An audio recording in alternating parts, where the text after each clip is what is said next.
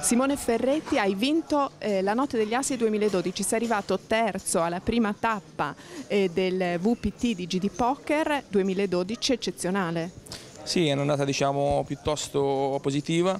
Eh, speriamo di continuare su questo trend. Eh, adesso purtroppo sono uscito dal main event, però sono al final table del, del side event, siamo rimasti in sette, sono chip leader, spero di poter fare un'intervista poi dopo con, con notizie positive. Che tavolo è? È un tavolo sembrerebbe abbastanza abbordabile, sono molto passivi, sto spingendo un po', vediamo se riusciamo a portare a casa questo primo posto che sarebbe buonissimo sia per la moneta che per la classifica del, del tour. Vai. Grazie. Grazie.